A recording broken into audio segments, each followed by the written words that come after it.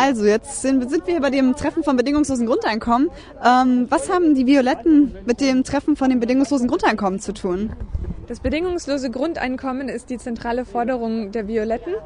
Ähm, und wir wollen mit dem bedingungslosen Grundeinkommen erreichen, dass die Menschen würdevoll leben können und sich selbst entfalten können. Okay, und ihr seid, ähm, und ähm, wer bist du? Ich bin Julia Pötzl, Landesvorsitzende der Partei Die Violetten in Berlin. Hier ist Bernie, Bernhard Rath, Hallo. mein Vorstandskollege und unsere Direktkandidatin in Steglitz-Zehlendorf, Ingi Kölsch. Und ähm, das ist das zentrale Punkt, das bedingungslose Grundeinkommen. Das ist einer der zentralen Punkte. Die anderen zentralen Punkte sind direkte Demokratie, Basisdemokratie sozusagen und ähm, mehr Spiritualität in der Politik. Das heißt mehr Achtsamkeit, mehr Respekt, mehr Toleranz gegen, äh, gegenüber anderen. Ähm, eine Frage ist Basisdemokratie äh, und Demokratie, was ist der Unterschied dabei?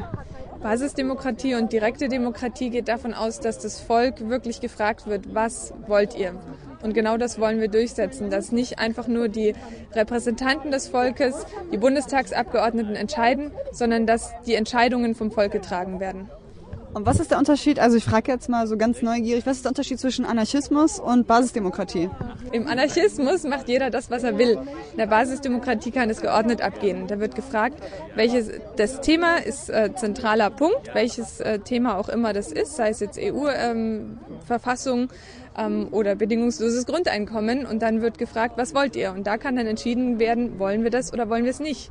Genauso hätten wir uns das für den Krieg zum Kriegseinsatz im, in Afghanistan vorgestellt zum Beispiel. Und gibt es dann noch äh, bei Basisdemokratie oder Direktdemokratie, Direktdemokratie gibt es dann noch äh, Politiker und sowas?